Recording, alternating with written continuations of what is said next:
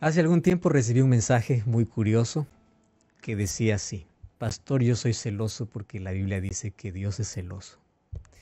Y la Biblia dice, yo soy celoso y que guardo y que tengo celos de mis hijos hasta la tercera y cuarta generación.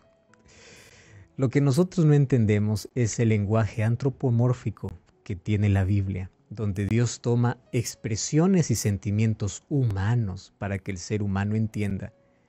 Pero Dios no tiene el celo que nosotros tenemos. Cuando dice que Dios tiene ira, no es la ira que nosotros tenemos.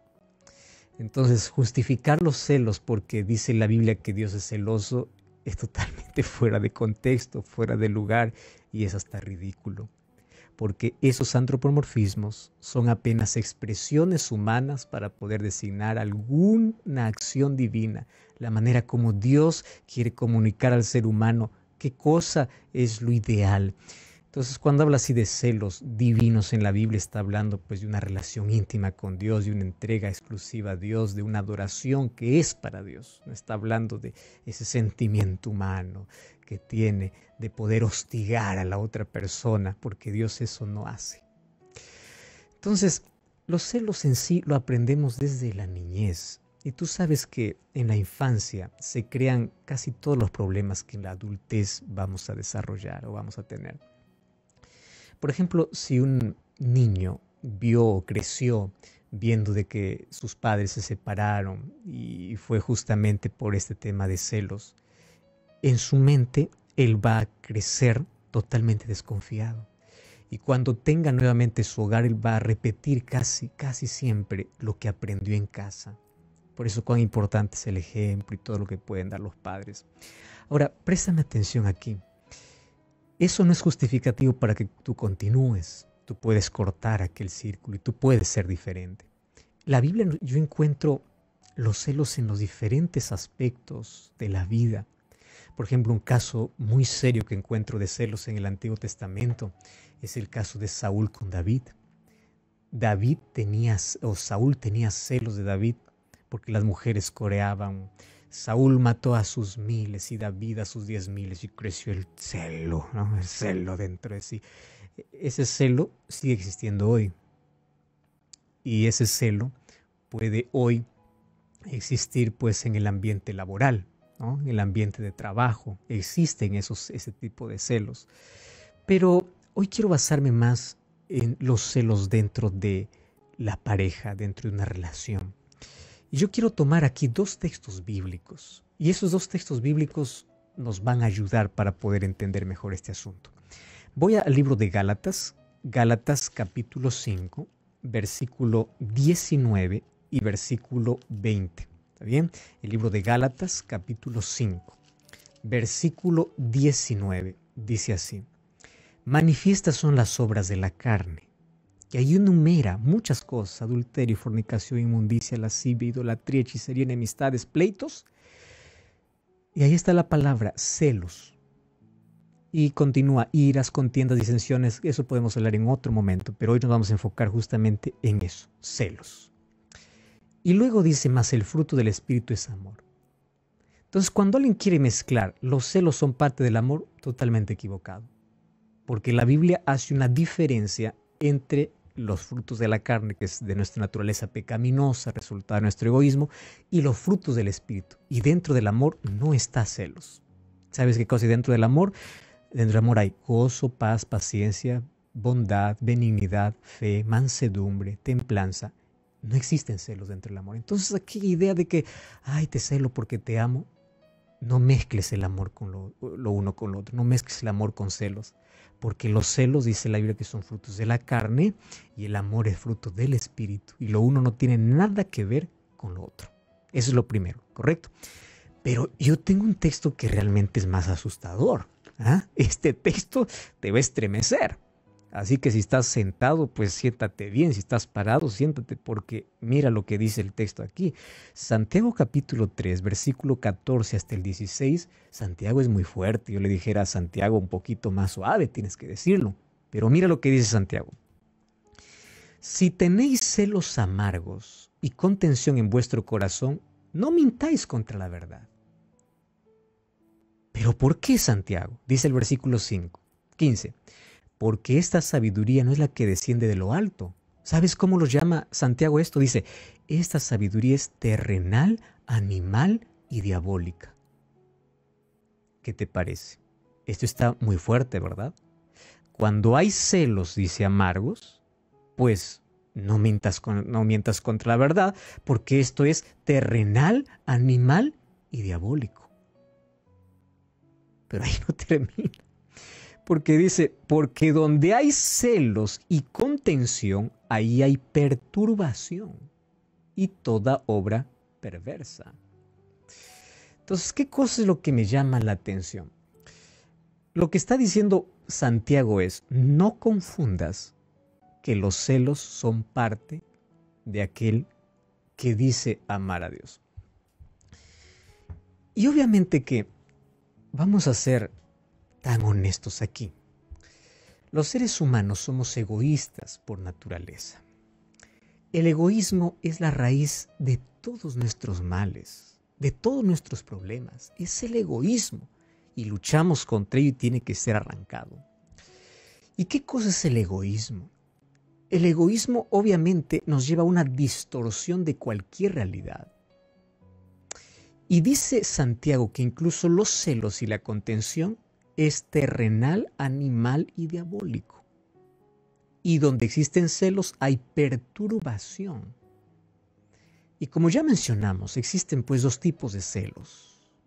Los celos normales es cuando la otra pareja muestra interés por otra o, la pareja muestra interés por otra persona y obviamente es evidente y claro que existen aquellos celos que son normales de poder proteger, de poder cuidar. Pero hay una línea hasta donde nosotros podemos llegar y no debemos cruzar. Porque cuando se cruza esa línea a tal punto de querer quebrar la libertad de la otra persona, de poder romper la privacidad de la otra persona, eso se llama celos enfermizos. Y al ser celos enfermizos quiere decir que tu mente está enferma. Y claro, en psicología esto obviamente tiene el nombre de celos patológicos. Y los celos patológicos son aquellos celos sin causa y siempre son en exceso. A ver, te voy a decir cómo es un celo patológico. El celo patológico se vuelve en un celo como el en el centro de la vida de la persona, o sea, en su forma de actuar y de pensar. Ya no puede ni siquiera trabajar bien. Va al trabajo, su mente no está en el trabajo. Su mente es, ¿qué estará haciendo? ¿Dónde estará? ¿Con quién estará hablando? ¿Qué, ¿Qué, estará haciendo en este momento? Y cada rato, ¿qué estás haciendo? Y llamándole, ¿y dónde estás? Oye, qué, qué hostigamiento. Porque tu mente ni siquiera está en lo que realiza, tu mente está en qué estará haciendo la otra persona. Y incluso yo conozco personas que comienzan a crear, a crear cuentas falsas. ¿Para qué? Para investigar, para seguir. Entonces parece que, que, han llevado un curso de investigación criminal. Y comienzan a, hostigar a la otra persona y comienzan a revisar el celular y todo. Ahora fíjate, todo eso con la idea de buscar la verdad, entre comillas. Esto se llama pues celotipia. Buscar qué verdad, la verdad que se cree en la cabeza, una verdad que no existe, una mentira, una fantasía de su cabeza. Entonces, él cree, inventa historias en su cabeza sin tener ningún argumento lógico o ninguna prueba. Sabes que esto es enfermo y esto es enfermizo. Entonces el celo exagerado ¿Sabes qué cosa es? Aquí viene el problema del egoísmo. En pensar que la otra persona te pertenece y tú puedes hacer lo que quieras, incluso privarle su libertad. ¿Sabes que esto es un tipo de abuso? A ver, voy a repetir esto por si no te quedó claro. El hecho de decir tú me perteneces a mí y punto es una señal de alerta para todos aquellos que están de novios para decir hasta aquí llegamos, y para todos aquellos matrimonios esto es abuso. ¿Entiendes? Esto es un abuso. O sea, los celos te llevan a creer que tú eres dueño de la otra persona. Para, para un momento allí. Otra persona no te pertenece. Claro, es bonito en poesía. Tú me perteneces, tú eres mío, tú eres mía, todo bonito. Pero mira, la realidad así a la verdad, al único a quien pertenecemos es a Dios. Entonces tú no te puedes aferrar, tú no puedes privar la libertad de otra persona si no es conmigo, con una... Eso es enfermo. Y necesitas tratamiento. Entonces, los celos no son sinónimo de amor. Eso es una creencia equivocada. Porque el amor es un principio y es una decisión basada en confianza y respeto. Entonces los celos son sinónimo de desconfianza. Y si es desconfianza, pues ya no es amor. ¿Y cuáles son las causas? Hay varias causas, yo quiero resumir aquí algunas. Por lo menos hay tres que sobresalen. Número uno, la desconfianza, la inseguridad y la baja autoestima. Y voy a hablar un poquito de estas tres cosas que obviamente perjudican a toda relación. Baja autoestima, voy a hablar un poco después. Falta de confianza en uno mismo. Entonces, tú sientes que no mereces pues a la persona con quien estás. Eso es falta de confianza, falta de autoestima también. Probablemente eres celoso por experiencias familiares, porque a tu alrededor ves tanta situación que, bueno, todo, todo el mundo se separa y por X razones y tú dices, pues bueno, el siguiente soy yo. Hay que trabajar también un poco el contexto en el cual nosotros vivimos. Puede ser por alguna experiencia que viviste en el pasado o puede ser por un trastorno psicológico. Por ejemplo, se dice que las personalidades de paranoide, narcisista e histriónicos tienen más tendencia a desconfiar de los demás. ¿Correcto? No quiere decir que son, tienen más tendencia. Entonces, esta personalidad obviamente puede llevarte a este trastorno. Pero aquí viene un asunto muy interesante, fíjate. ¿Tú sabías que quienes han sido infieles recientemente, obviamente están avergonzados y suelen ser candidatos para manifestar ataques de celos. ¿Por qué razón? Esto se llama el mecanismo de proyección. ¿Qué cosa es el mecanismo de proyección? Como yo ya fui infiel, yo creo que la otra persona también va a ser infiel. ¿Entiendes? Entonces a veces esto es un mecanismo eh, de, proyección, donde tú te proyectas en el otro. Y, sabes que a veces, por eso a mí me preocupa mucho aquellos que están siempre acusando a todo el mundo, eres un pecador, eres un mentiroso, eres un esto, eres un otro, porque puede ser que tú te estés viendo en el otro. Y eso te incomoda tanto. ¿Y cómo se manifiestan los celos? Pues los, celos se manifiestan de diferentes maneras. Estamos hablando específicamente ya del celo enfermizo. El control del movimiento de la otra persona. Estás rastreando llamadas, estás rastreando redes sociales, estás criticando, tienes una actitud controladora. Tú dices, mira, hoy yo quiero que salgas a la calle vestido así. Hoy quiero que lleves mi foto en tu pecho. Hoy quiero que lleves un polo donde estemos los dos. Por favor, y es más, ese es el punto de conversación. El punto de conversación ya no es relacionamiento. El punto de conversación en la pareja es qué hiciste, dónde fuiste, con quién estuviste, qué y esto y lo otro. Y aquí viene otro asunto, es que la otra persona te devalúa. O sea, te hace sentir inferior, te hace sentir que no mereces nada. ¿Para qué? Para que tú digas es verdad, yo no tengo valor. Eso te crea dependencia emocional y comienza una relación tóxica. ¿Y por qué te hace sentir sin valor? Para que tú te aferres a él y Él pueda seguir abusando de ti. Qué terrible. No permitas eso. Siempre se enoja si no llegas a la hora. Siempre te pregunta con quién estaba. Siempre te revisa el celular. Ah, querido, cuando alguien empieza a quitarte tu libertad y privacidad, es hora de parar. Es hora de decir, esto no puede continuar así. Y es más, existe una serie de justificaciones que inclusive justifica su conducta. Ah, es que tú provocas demasiado, es que eres demasiado lindo, es que te quiero demasiado, por eso te celo. No es así.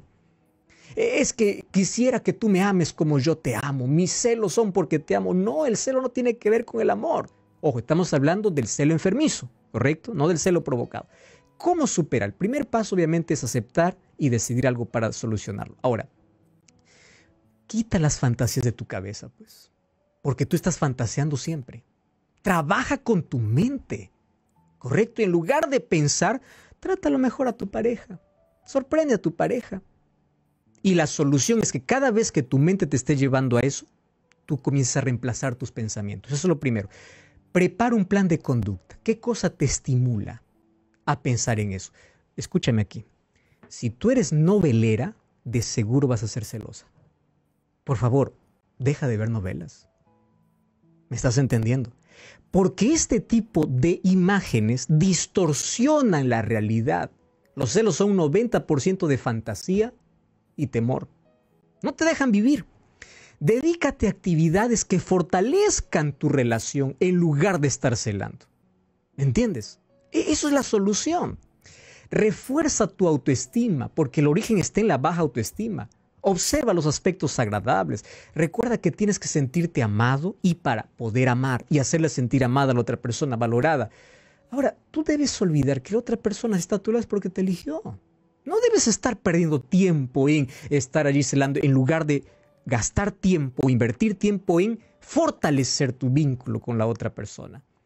Y si las cosas no mejoran, por favor, busca ayuda profesional. Existe apoyo clínico mediante sesiones terapéuticas que te van a ayudar primero a curarte y luego a aumentar la confianza mutua que se necesita tanto en los relacionamientos. Voy a resumir aquí. Gálatas capítulo 5, versículo 19 y 20 dice, los frutos de la carne son, entre ellos los celos, y los frutos del Espíritu es amor. O sea, amor no tiene que ver con celos.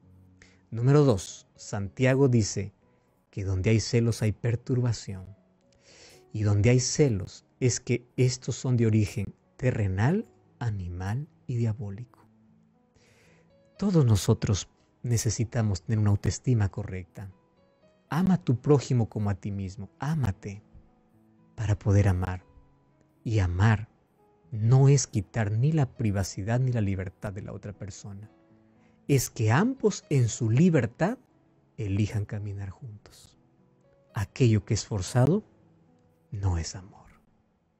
Por eso hoy yo quiero orar para que Dios pueda ayudarnos a hacer la diferencia correcta. Y si necesitas ayuda, busca por favor. Y yo quiero orar porque Dios puede ayudarnos a salir de esta situación. Oramos. Gracias Señor por tu palabra. Gracias porque queda tan claro para nosotros las cosas que tenemos que mejorar, que cambiar. Ayúdanos a trabajar con nuestros pensamientos para tener un concepto correcto de nosotros mismos como también de la pareja y queremos que tu Santo Espíritu nos ayude, cure nuestras heridas internas, aquellas heridas escondidas que nadie ve, para poder mantener relaciones saludables. Cuida aquellas parejas que están sufriendo tanta violencia y que puedan reflexionar y parar con ese tipo de abuso. Llénanos de tu amor en nuestro corazón. Danos tu bendición. En el nombre de Jesús. Amén.